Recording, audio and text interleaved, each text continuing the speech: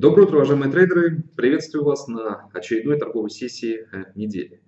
Э, как и всегда, мы разбираем события, которые произошли на минувшей торговой сессии, в данном случае э, в ходе торгов понедельника. Смотрим, как открыли неделю основные валютные пары, основные инструменты, на которые мы традиционно обращаем внимание. Собственно, готовимся к событиям, которые на повестке предстоящих торгов и, как и всегда, стараемся дать э, полную, максимально тотальную оценку э, того, что на рынке происходит э, в плане важных фундаментальных новостей. Надеюсь, друзья, то, что вы уже определились с тем э, направлением, э, которое, э, скорее всего, уже и занято вами, касательно того же самого доллара, евро. Очень хочется верить в то, что те аргументы, которые я привожу вам в последние недели, месяцы, какой-то из них, может быть, э, вас устроил, и вы э, в том числе и положились э, на один из тех домов, которые приводил. Потому что сейчас на рынке действительно важно уже определяться.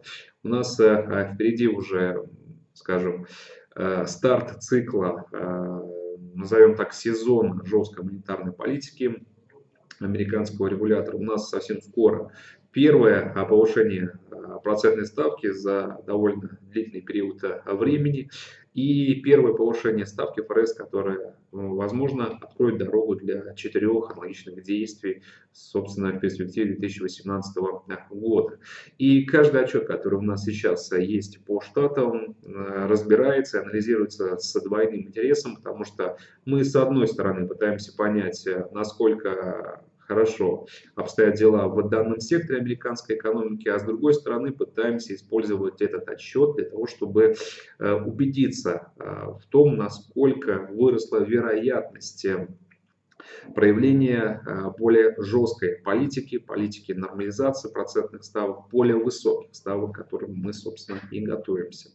Если вчерашний день не очень-то блистал событиями, скажем так, сессия была по статистике довольно-таки вялая, да и в целом я вот сейчас выписывал котировки, уровни, мы не очень сильно отошли от тех значений котировок, которые наблюдали, собственно, на открытии торговой сессии понедельника. Ну, максимум 10, 15-20 пунктов. Вот наиболее интересное движение в паре доллар-канадец, поскольку мы смогли восстановиться с планки 1.28 с такой локальной поддержки до уровня 1.2850. Фактически снова приближаемся к нашему целевому ориентиру в 1.30. И поскольку сегодня у нас в 17.30 выступление э, Стивена Полза, который возглавляет канадский регулятор, э, будем рассчитывать на то, что он э, подтвердит выжидательную позицию собственно, комитета, регулятора, которым он руководит, и позицию ответственных за политику э, ставок лица, то, что никаких изменений э, с ставками в ближайшие несколько месяцев не происходить не будет. А значит, мы сможем сделать акцент на то, что пауза взята, Банк Канады будет фокусироваться на том, как потребители адаптируются к условиям и последствиям прежних решений процентных ставок. Это хорошая возможность спекулировать пока на нейтральной жесткой монетарной политике и уж в этом свете явно не покупать канадца. Также хочется отметить, друзья, то, что очень э, хорошая динамика сейчас э, для медведя складывается на рынке черного золота, а для Канады это основной экспортный э, ресурс, поэтому вчерашнее снижение котировок нефти и стал, на мой взгляд, основным катализатором ослабления канадского доллара, да и вообще роста пары доллар-канадец. Вот я предлагаю на этой ноте перейти, собственно, к нефтянке, поговорить о ней, потом плавно, опять же, зарезюмировать э, том, что мы э, наблюдаем по паре доллар-канадец. Нефтянка у нас снова ниже 65, 64.97 это закрытие э, понедельника и 64.83 это текущий. Мы держимся рядом с сопротивлением, которое меняет свой статус то на поддержку, то обратно на сопротивление уже несколько сессий подряд, довольно э, долгий период э, времени. Э, но то, что вчерашний день был открыт распродажами, это хороший сигнал, это явно тенденция, которая настраивает нас на то, что вполне возможно распродажи могут продолжиться и дальше, и изменения, которые прошли на основном фоне, они усиливают нашу позицию. Вот эм, Логично было бы предположить, что в понедельник рынок мог бы еще поддержаться какое-то время а в плюсе на рыночной эйфории, а, назовем ее так, после выхода а, статистики Baker Hughes по количеству нефтяных терминалов тогда, неделю назад, их число сократилось с 800 единиц до 796. И разбирая этот отчет, э, можно было бы предположить, что раз снижается количество платформ, возможно, это предпосылка для спада производства нефти в Штатах. Но я надеюсь, что такой вывод вы не сделали, поэтому, проанализировав данные от Baker Hughes, э, сделали э, правильные скажем, выводы из той статистики, которую мы видели. И эти выводы заключаются в том, что, ну да, снизились немного, тем не менее, а совокупные количествах находится на таком высоком уровне, при котором мы все равно даже обязаны говорить о том, что производство нефти в Штатах увеличивается.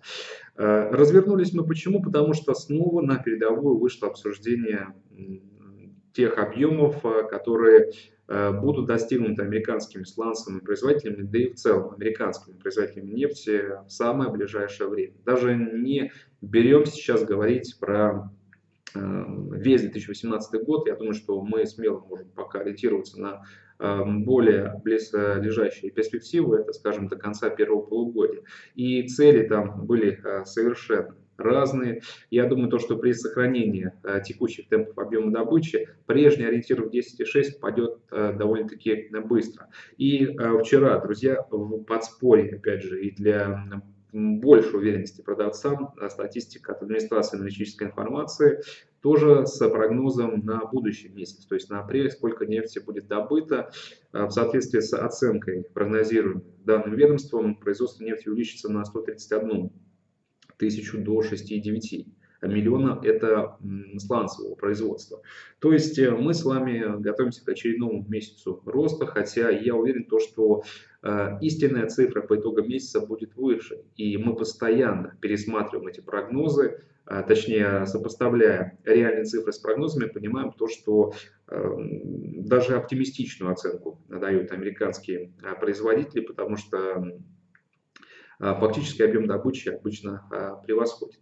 И, соответственно, если 131 тысяча ожидается, реальный ли это планка, да более чем. Вы вспомните, что только на прошлой неделе у нас производство нефти превысило 80 тысяч, а в целом за две недели рост составил 100 тысяч. При сохранении подобной динамики этот показатель легко может быть переплюнут. Даже, соответственно, рост сланцевой активности будет и дальше создавать э, давление э, на представителей ОПЕК и э, может стать самым настоящим признаком, либо, может быть, катализатором раскола, который, честно говоря, уже среди э, представителей ближневосточного картеля, а лучше сказать, среди участников аналитического пакта назревает. И если раньше мы предполагали, что это возможно, потому что чем больше нефти будут добывать американские производители, соответственно, тем больше нефти они будут экспортировать, и тем э, большую долю глобального рынка будут покрывать за счет собственного производства. И сейчас мы наблюдаем как раз это воочию, этот э, прогноз и сценарий отрабатывается, и те, кто следит за рынком, считают, что стоит только ближневосточному картелю потерять еще определенную долю очень ценного и важного азиатского рынка, как э, будет пройдена точка кипения, э, и произойдет вот этот момент X, когда многие страны ОПЕК просто откажутся от обязательств по снижению добычи и вернутся к прежним показателям загрузки. Нужны ли вам доказательства, друзья?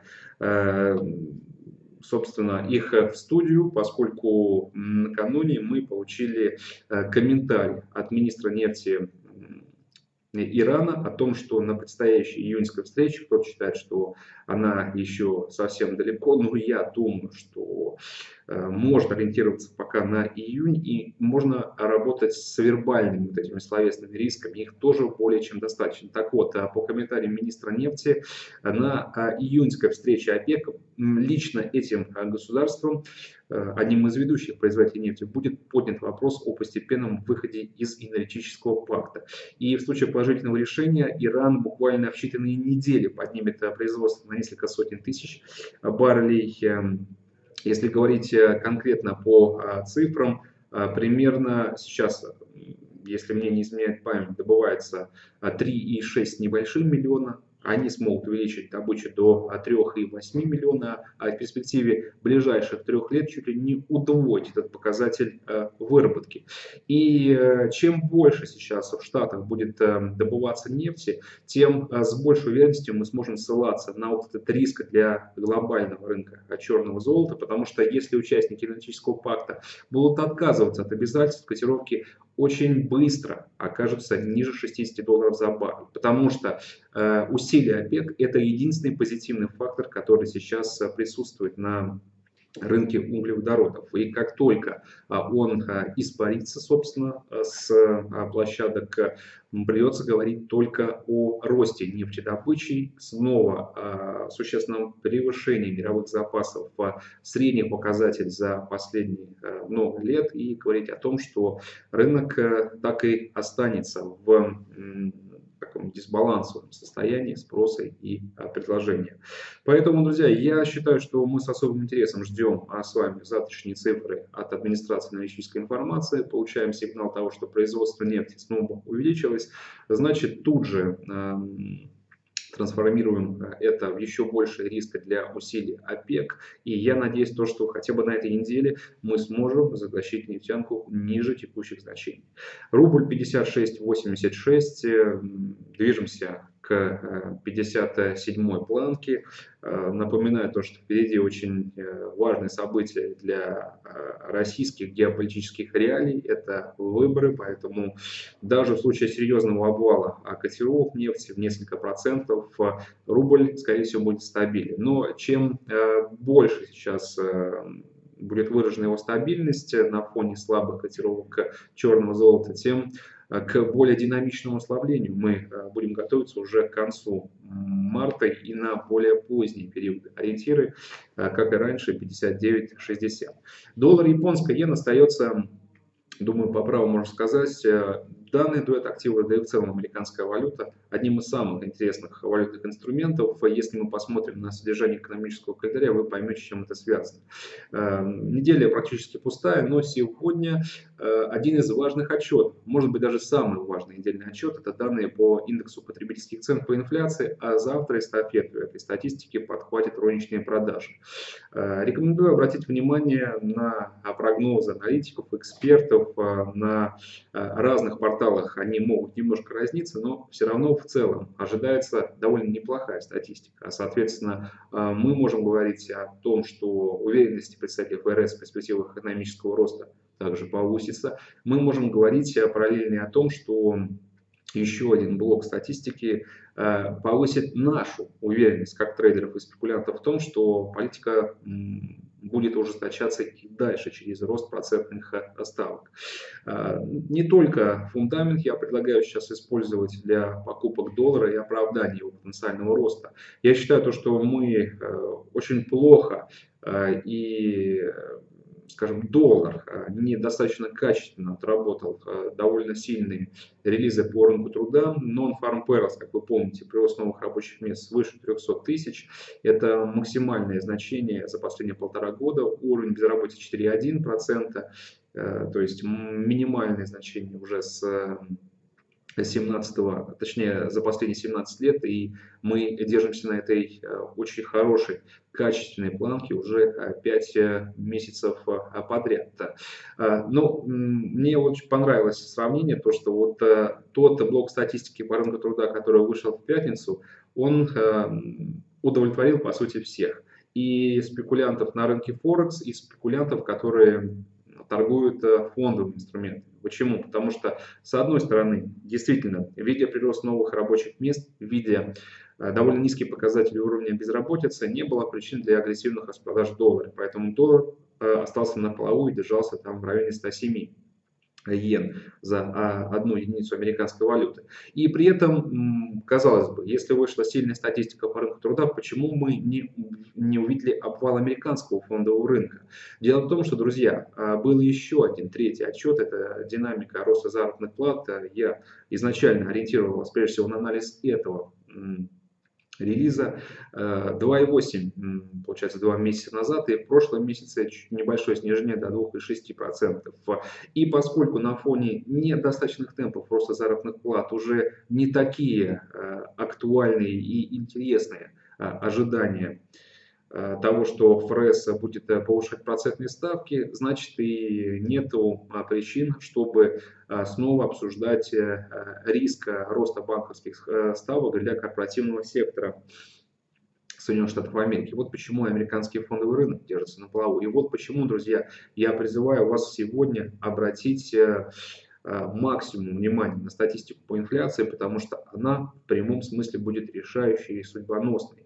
Волатильность должна быть значительной, и завтра нам, безусловно, будет о чем поговорить. Но сегодня я настраиваюсь на то, что, по моему мнению, скорее всего, э, если те аналитики, которые были опрошены, это сотни, опять же, авторитетных э, мнений, оказались э, правы, мы увидим все-таки э, улучшение э, динамики с инфляцией, соответственно, получим стимул для роста доллара и, скорее всего, рост инфляции повысит вероятность многократного повышения ставок в этом году и, соответственно, может обвалить американский фондовый рынок. Если вы интересуетесь этой секцией, сегодня вам нужно быть эм, крайне внимательны и работать с риском потенциального а, снижения. Вот, кстати, по S&P мы сейчас торгуемся на отметке 2789, а, небольшой откат с максимумом 2800 пунктов, но я думаю, что при а, развитии событий в соответствии с тем сценарием, который я отметил, американский фондовый рынок может просесть больше, чем на 50 пунктов. Это вполне нормальная волатильность с учетом последних тенденций. Поэтому по доллару иене мы уже видим небольшой рост, а, в частности котировки 106.71, возможно даже забрались повыше, сейчас уже сохраняем положительное расположение в отношении этой валютной пары и ждем выше 107. Фунт против доллара. Особо никаких новостей нету, но вот а, из интересного а, кто-то, не помню даже из банков, не хочу вводить вас в заблуждение, но, скажем, мнению этого банка можно доверять, посчитали риски для Европейского Союза и для Англии а в случае, если после Брекзита не удастся достигнуть консенсуса по э, соглашению о едином европейском э, рынке, то есть о зоне, скажем так, прежней торговли. Если речь пойдет о жесткой процедуре Брекзита, без единого рынка сохранения доступа к нему, то ущерб превысит 80 миллиардов долларов. И что самое интересное, друзья, э, большую часть этого ущерба возьмет на себя Европейский Союз. В этой связи я считаю, что мы, как и раньше, можем рассчитывать на то, что э, страны, понимая все вот эти глобальные риски, Европейский Союз э, и Англия все-таки э, при последующих этапах переговоров по Брекзиту будут занимать более такую толерантную позицию, которая позволит выйти на какой-то общий знаменатель и через компромиссные в итоге решения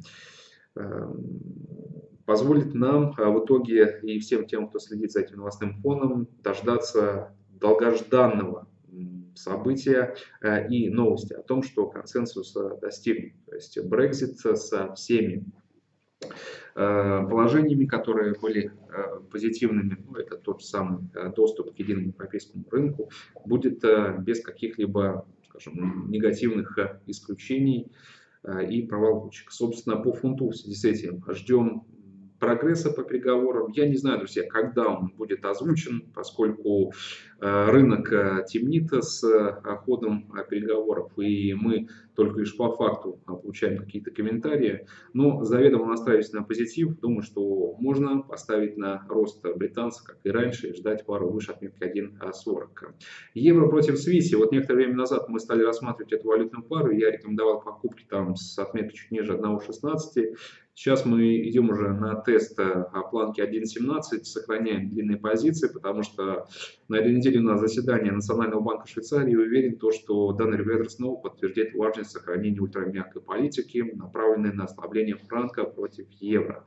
И до отметки 1.20, собственно, можем еще смело держать а, этот э, дуэт активов. А, по доллару канадцу мы уже отчасти поговорили. Я считаю то, что сегодня а, в ходе выступления Стивена Полоза, как уже было отмечено в начале этого брифинга, мы получим очередное свидетельство того, что Банк Канады более не будет торопиться с повышением процентной ставки, возможно, до конца этого года. И в случае такой риторики для канадца а, это а, явно будет э, не тот фон, на котором можно а, расти потому что раньше а, канадец прессинговал против американца за счет а, таких близких перспектив повышения процентной ставки, сейчас они уезжают на неопределенный а, срок. Мы помним про ряд проблем, с которыми столкнулась канадская экономика, и помним то, что, возможно, одной из основных причин этих проблем были преждевременные шаги Банка Канады по росту ставок, потому что с июня прошлого года данный регулятор повысил их трижды, и сейчас вот вынужден констатировать, что, э, возможно, нужно было ограничиться двумя повышениями процентной ставки. Мы видим, как падает активность потребителей. Ну, если вас не устраивает а, формулировка падает, то, по крайней мере, находится не на таких высоких значениях, на которых, возможно, могла бы находиться. Не забывайте также еще про весьма актуальную тему переговоров по нафта, а, тех рисков, с которыми может столкнуться канадская экономика, если Трамп снова возьмет а, и займет позицию вне каких-либо поблажек для партнеров по Североамериканскому торговому альянсу, то есть э, Мексики и Канады. И не забывайте также про э, снижение нефти, о которой мы уже поговорили, о потенциале. Потенциал тоже был обозначен, соответственно, вчерашняя торговая сессия снова нам доказала, что канадец реагирует на поведение нефтянки, а значит э, цель наша 1.30 по-прежнему актуальна. Ну и что касается крипторынка, мы его вчера немного упустили. Снова на рынке хватает э, достаточно э, негативных э, новостей. Соответственно, друзья, эти новости пока не отпускают крипторынок, биткоин и, соответственно, альты. Не знаю, каким инструментом вы торгуете, но считаю то, что все равно сейчас целесообразно сохранять короткие позиции. А биткоин у нас э, находится на отметке 9291 и э, может оказаться э, ниже. Я считаю, что ближайшая цель для этого инструмента около 8 тысяч за единицу. Вот на Ripple мы также обращаем внимание. Сегодня пресс-конференция SEO Ripple. Я попробую последить за высказываниями. Завтра, если что-то интересное будет, безусловно, вам расскажу, но я думаю, что вы первыми увидите это в динамике Ripple уже а, сегодня. 0.77 котировки, считаю, что прекрасное значение и курс, чтобы эм, добавить этот э, инструмент в а, свой а, криптопортфель, либо даже увеличивать э, его эм, долю. Эм, по негативным новостям из последнего, что можно отметить, это решение финансового, финансового регулятора Японии который некоторое время назад приостановил работу ряда криптобирж по подозрению в том, что руководство этих бирж использует средства а, клиентов в своих интересах. И не забывайте также и про последний комментарий уже американского регулятора SEC, который а, снова обозначил крайне неопределенный статус а, того же самого биткоина и сослался на катастрофическое количество рисков работа с которыми, собственно, чревата, если вы эм, спекулируете биткоином. Ну и, соответственно, американские регуляторы, да и не только, скажем, американские регуляторы, но и регуляторы глобальных э, э, развитых экономик подобные осуждения они формируют настроение, потому что именно позиция отдельных государств и, я думаю, формируют долгосрочные тренды для рынка криптовалют, поскольку до сих пор не удается четко определиться с статусом и тем, стоит ли Э, вводить элементы такого полномасштабного регулирования, мы будем вариться вот в этой неопределенности и работать пока с рисками, которых очень много. Пока новостная картина не меняется и научный опыт, друзья, нужно э, помнить и понимать, что только лишь мощный э, фундаментальный позитив, в идеале бы тоже касающийся регуляции, только ему под силу, скажем, изменить вот эту нисходящую тенденцию. Пока его нету, не нужно питать особых иллюзий и считать то, что биткоин находится на тех самых уровнях, с которых его лучше всего закупать. Уже пора бы смириться с тем, что для этого актива также характерны и довольно э, часто в последнее время и нисходящие тенденции, которые могут приводить к обновлению многонедельных многомесячных э, минимумов. Друзья, на этом, собственно, все. Из важных событий сегодня в 15.30 ждем статистику по инфляции, в 17.30 ждем выступления э, председателя Банка Канады Стивена Полза. И замыкать день будет отчет от Американского института нефти в 23.30 по запасам. Обо всех этих релизах мы уже с вами поговорили. Завтра уже будем резюмировать. На этом все. Всего доброго, до свидания.